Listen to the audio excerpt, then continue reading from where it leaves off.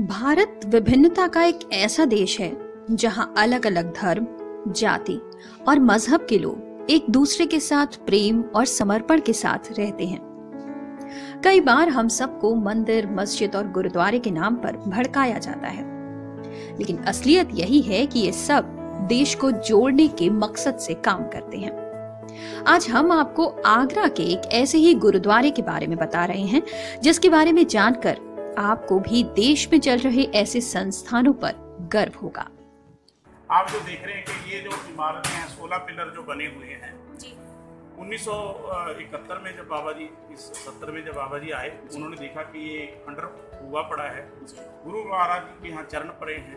तो बाबा जी ने इसको मोन्टीफाइव कर दिया। मोन्टीफाइव के आज जो गुरुद्वारे बन रहे हैं उनको तोड़ देते हैं।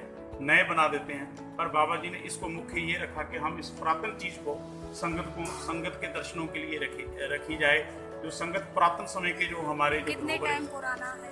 ये करीबन साढ़े चार सौ साल पुराना है। जब ये बारादरी कहा जाता था पर आज इसको गुरुद्वारा दुख निवारण गुरु का ताल आगरा कहा जाता है जहाँ पर यहाँ पर सब धर्मों के लोग आके नमस्कार करते हैं।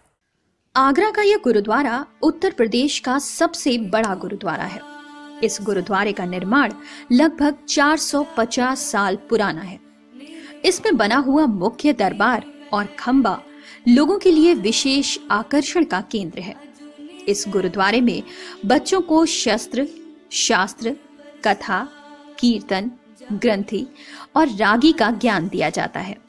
इसके अलावा गुरुद्वारे में सौर ऊर्जा का प्रयोग किया जाता है।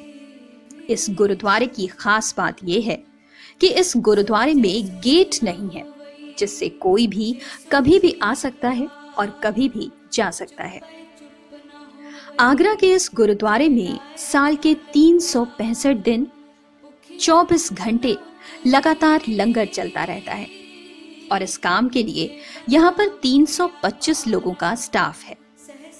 गुरुद्वारे के अंदर बने हुई पशुशाला में लगभग 100 गाय और भैंसे हैं।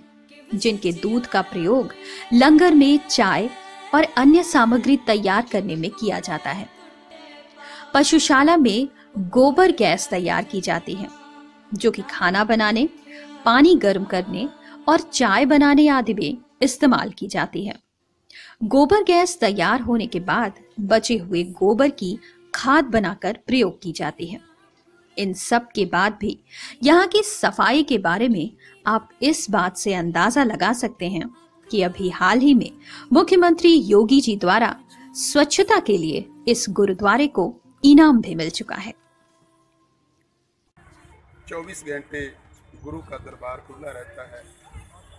हजूर साहिब, पटना साहिब, सिख संगत जो आने और जाने वाली है पड़ाव करती है।